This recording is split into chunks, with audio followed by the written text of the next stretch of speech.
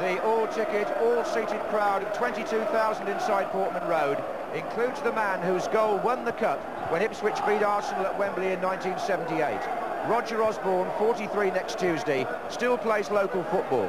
But there's one survivor from that final 15 years ago who's in the thick of the action this afternoon, 35-year-old John Wark, who takes his place in what now looks like a full-strength Ipswich lineup. Jason Dozzell and Chris Kiwomya have recovered from thigh strains. Gavin Johnson passed a late test on a back injury. But at number nine, Phil Whelan is brought into the defence, maybe to help combat the pace of Ian Wright. That would be the thinking of Mick McGiven and John Lyall, the management team, who agreed new contracts with the club this week. Well, it's also been a busy week for Arsenal, but their injuries have cleared up too. Tony Adams is back, and so is Alan Smith. Paul Davis keeps his place in midfield, and there's a spot in the starting lineup too for number seven, Jimmy Carter. At number five there, Andrew Linighan, as his family call him, is up against his younger brother, David Linighan, the Ipswich captain. Both began their careers with their hometown club, Hartlepool.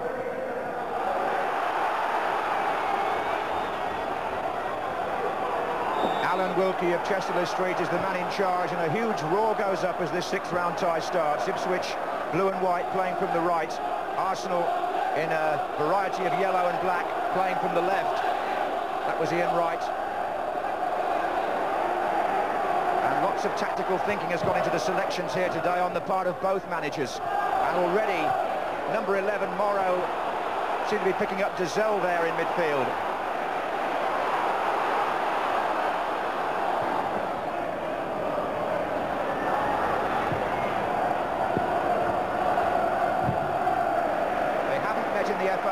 since that day at Wembley. Indeed, it was the only meeting in this competition between Ipswich and Arsenal.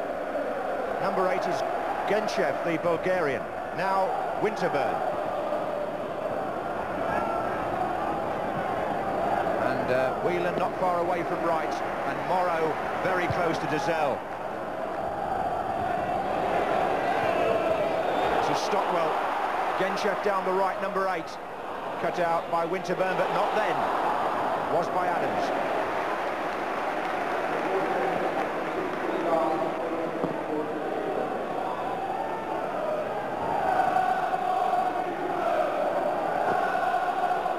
This is uh, David Linighan.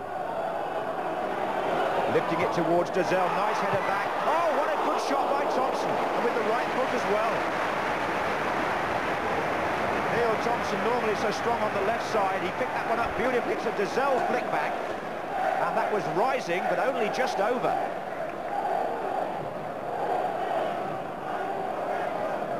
Good effort here, and Dozzell, an important part of the build-up there for Ipswich.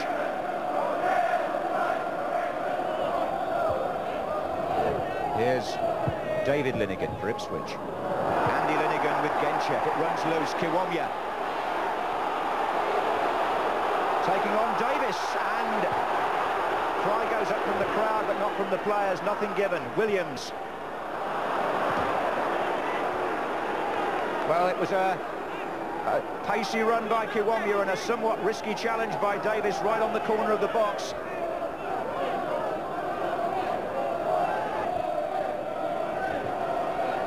Outside in fact when he uh, went for the ball.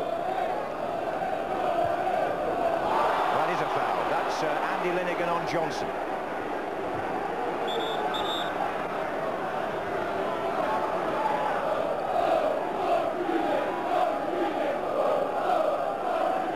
It's Thompson with the free kick. David Linighan coming in there. Guentchev! And Arsenal was struggling. Adams got them out of jail there because two defenders didn't know where the ball had gone. And Guentchev unable to take advantage. They just got to him. Thompson with the throw. Here comes Stockwell. And offside, Johnson.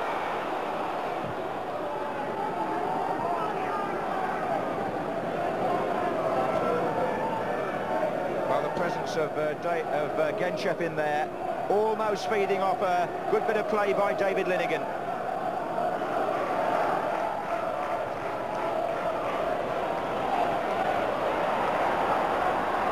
Here's Dozzell, and this is Kiwomya. Dozzell again. This is Johnson. Guentchev coming in and uh, Andy Linighan heads out, corner.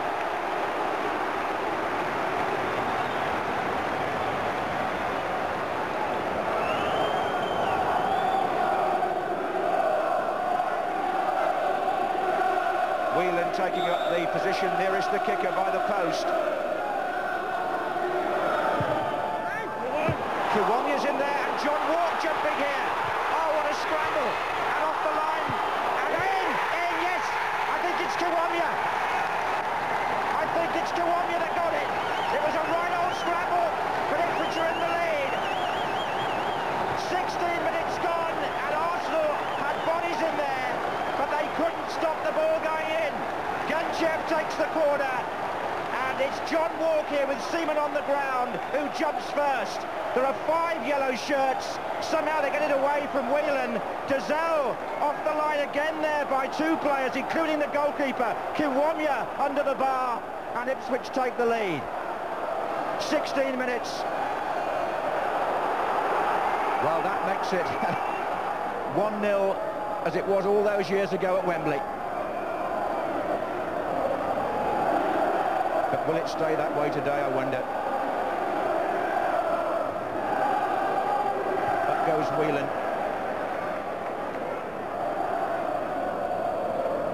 This is Merson.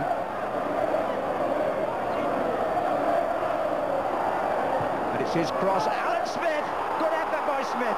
Wright couldn't quite get the rebound in. Dixon. Good save by Baker. Merson again. And this is Winterburn for Arsenal. Danger here, Wright's in there on a corner. And Wright just reacting slightly in there with Linighan, but I think it's all been uh, calmed down. And Arsenal now trying to do what Ipswich did, score from a left-wing corner. Adams is in there, so is Linighan. Adams with the goalkeeper. Johnson a half away. Thompson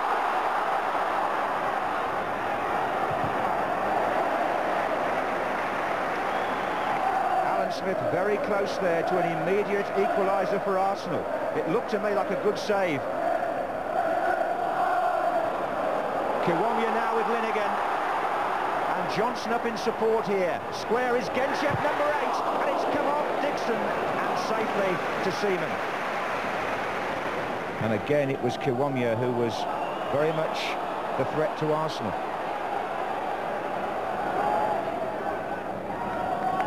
Morrow. Smith. Winterburn. Merson. Free kick, David Linighan on Smith.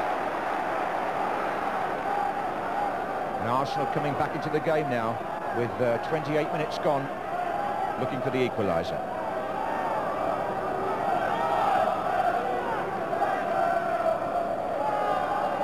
Merson is shaping up to take this one. Adams! It's in! And Tony Adams comes back with a goal. Arsenal are level after 29 minutes. And it was another set play goal, but so simple you wouldn't credit it really. Merson looked up, saw Adams as the furthest man across, played the ball in perfectly and his marker got it all wrong and Adams equalised for Arsenal. He stole away there from David Linighan and planted the header inside the post. And what a cup tie we have here now. One each. Arsenal had come back well in the last 10 minutes. And Ipswich have it all to do again. Adams after another troubled week is the man who's frankly, been Arsenal's strongest player in this opening half hour. Stockwell. In fact, it's a while since Adams scored. I think it's nearly a year ago that he last uh, got an Arsenal goal.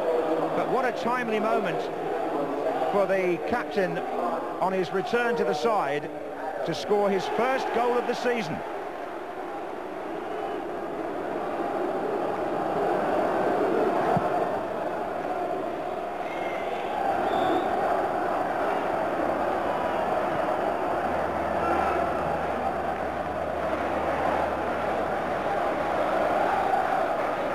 Arsenal fans who have been able to travel, just about 2,000 of them maximum, certainly making themselves heard in the ground now, and I'm sure they probably are inside Highbury as well, watching it on the on the closed circuit screens.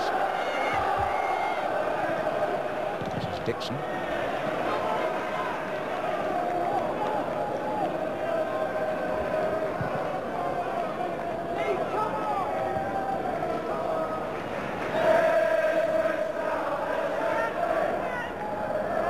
Jimmy Carter couldn't keep it in.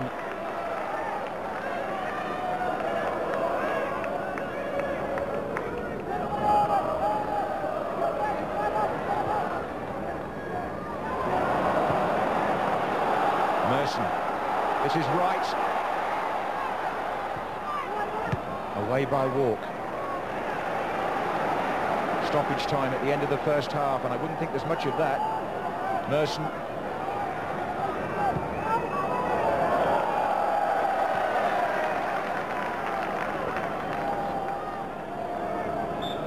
In fact, there's no stoppage time to speak of because this match has been unabated. Kiwomya gave Ipswich the lead in a very good opening period after Dozzell shot had been scrambled away. And then Arsenal equalised through Tony Adams. And at half-time, it's Ipswich Town 1, Arsenal 1.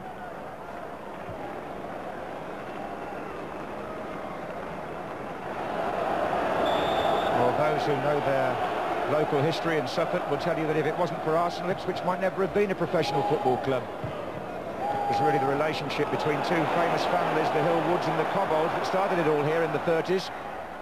Here's Johnson.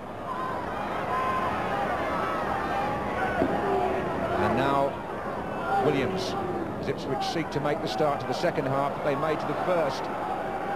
Important for them today, winners of only one of their last seven games.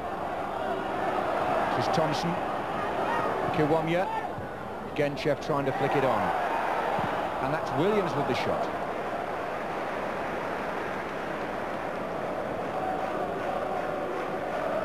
Geraint Williams, who's still looking for his first goal since he became Ipswich's record signing from Derby, £650,000 last summer. That's Morrow, and that's Wright, and here's Smith. Oh, it's Wright again, he got in there, and lofted the volley just over the bar. But we've seen him put those away this season, and that was the first time that Ipswich have really lost track of Ian Wright in this game. He gets the other side of David Linighan, and on another day that might have dipped in.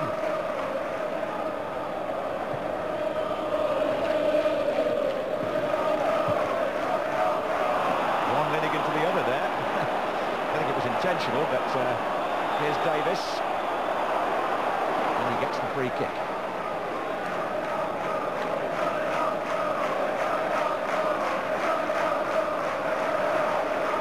Smith and Wright poised to make their runs.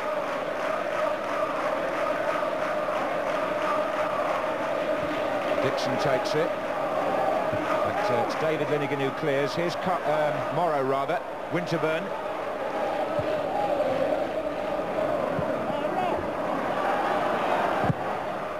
Arsenal throw.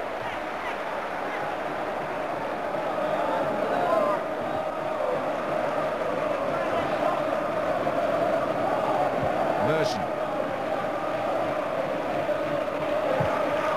Away by Whelan. This is Adams with Guentchev.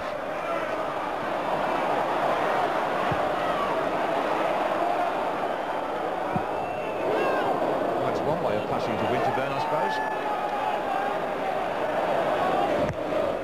That's meant for Smith. Whelan's header, it's Wright. Oh, it caught a deflection, I think. Corner Had Baker scrambling a bit down by the post, Ian Wright shot, but I imagine when you see it again, it catches an Ipswich foot somewhere here. Yes, it's Johnny Wark, I think. Corner to be taken by Merson. Short tomorrow. Merson. Smith! Oh, and still they can't get it in. I think it was Jimmy Second chance. Here's Adams.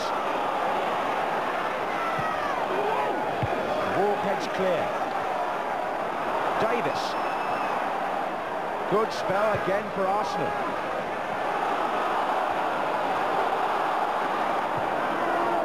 Merson. And that one tails off an Arsenal attack that had threatened to put them in front.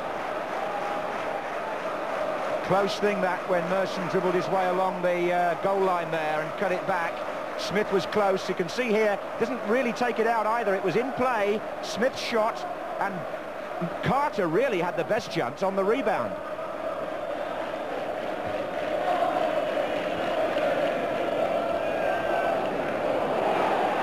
Smith. And Carter away from Johnson. And Wark away from danger. That's what they want Carter to do, is to get the other side of defenders and whip the ball in. Arsenal digging deep into their resources here after a strenuous week on the attack with the score 1-1. Davis to take the corner.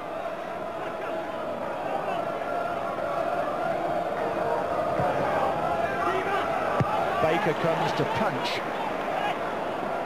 And uh, Davis takes the throw to Carter. Williams for Ipswich.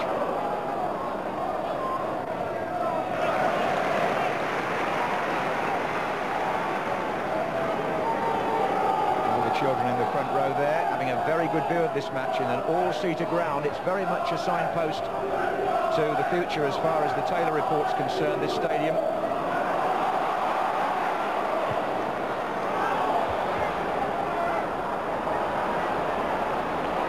And Seaman, a good 20 yards out there to Winterburn. Dozzell. Stockwell didn't quite get that touch right. This is Winterburn. And Wright flicks it on, looking for Smith, and Wright goes behind Smith. Good play by Arsenal. And Wright, who is looking for his 50th goal for Arsenal in what's only been 68 games, Look at the intelligence there. He played the first ball, but then found the space to get the return. He won't be pleased with the shot. But what can you say about a man who in the FA Cup this season has scored seven goals in the last three rounds? Some of Smith's touch play and target performance has been really good to watch. Here he is again, making room for Carter perhaps. It's Jimmy Carter, Davis on the goal line in the middle with the goalkeeper half away and it fell conveniently for Ipswich to Johnson. If it had fallen to an Arsenal player, Ipswich might well have been behind there. They were all over the place and they still are. It's Wright. Oh, it's going to be a penalty. It's John Wark and he won't argue on Ian Wright and they never really recovered Ipswich from that desperate bit of defending a moment ago. They were always on the receiving end here. Wright's inside the box and Wark catches his ankles. There is no doubt. Now then, Arsenal have missed five penalties this season. Ian Wright missed one at Norwich on Wednesday night, but he's got the courage to try again. And this time he scores his 50th goal for Arsenal in only 68 games. His eighth in the FA Cup this season, and the goal that puts Arsenal in front in this sixth round tie in the 62nd minute. Wright, the man brought down. Wright, the goal scorer from the spot. He didn't hang around. He put that ball down.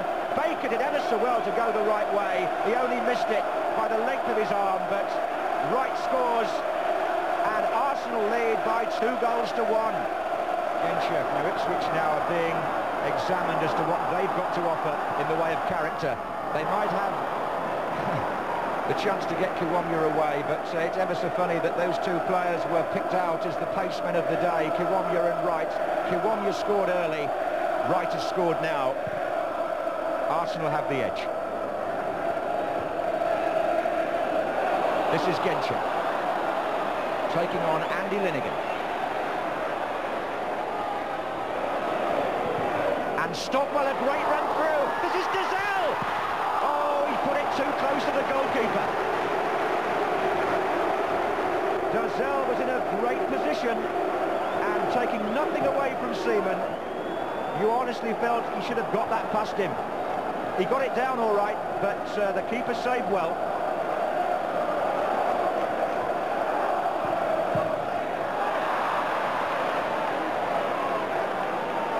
Not quite what Wright had in mind there, was it? But uh, Arsenal protecting the lead that he gave them.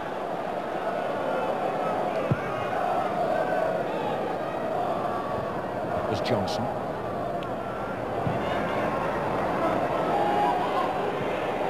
Smith. Good header. Oh, right through again. Oh, and Whelan tried to stop him, and it's got in. And Arsenal are 3-1 up, and I think Whelan may have got the touch there.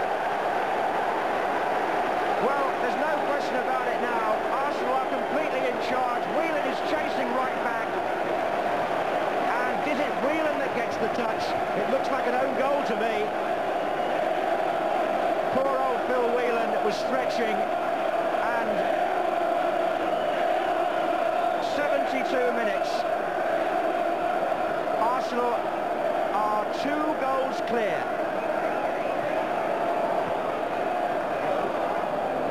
Wark. Kiwomya looks for Goddard. It drove him a little bit wide. It's out. Oh, I thought it was. Well, looks like you've got a corner somehow. Stockwell. That's loose. Guentchev. Goal. They've got one back. It's 3-2 and well I'm not even sure that they knew it was a corner at first but it was quickly taken. Stockwell gets the ball in. It goes past Kiwomya it's Guentchev the Bulgarian who kicks the shot through Lee Dixon's legs and off the post. 77 minutes gone. Guentchev who scored a hat-trick against Grimsby in the last round and also got one at Tranmere earlier in the competition gives Ipswich renewed hope against Arsenal in the quarter-final, offside. It's 3-2. Well, it was a goal-scorer's goal, this, wasn't it? Turned and shot, and got the advantage of the inside of the post. And on the Arsenal bench, Stewart Houston and George Graham might be feeling that their side have made it a tiny bit more difficult for, for themselves than they had to.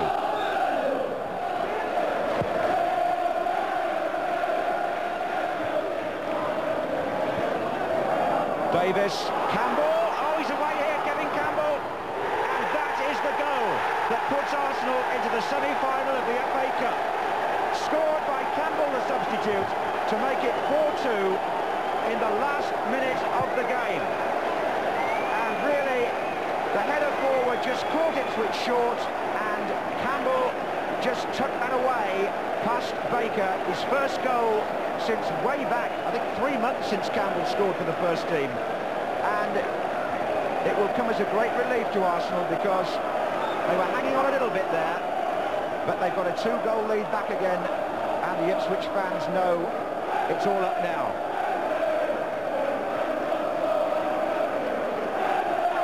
Guentchev, Winterburn.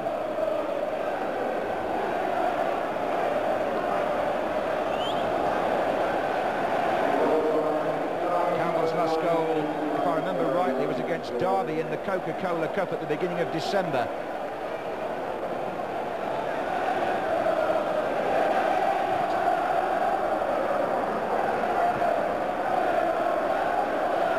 Well, Arsenal's strength has told when it's mattered today. They were one down, they were 3-1 up, Ipswich got back to 3-2, but Adams and his men have just kept their morale high and they've dug a good result out here at the end of a very tiring week. There's no question about that.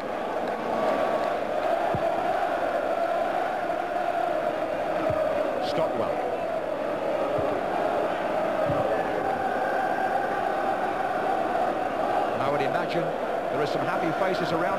2 just now, where they're watching the relay of this game.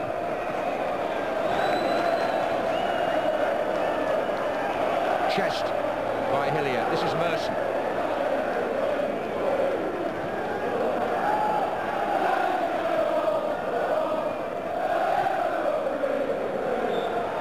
And Arsenal continue to attack Wembley on two fronts through to the semi-finals of the FA Cup Tony Adams' goal cancelling out Ipswich's early lead and then Arsenal taking the game over in the second half, courtesy partly of Ian Wright. And Campbell got the last goal as Ipswich folded against a very determined Arsenal performance. And a stirring cup tie for a capacity crowd here. And those who watched in North London ends Ipswich Town 2, Arsenal 4. I want to say, George, is what a good cup tie. Excellent game. Uh, great, art, great art there, really, for uh, English football.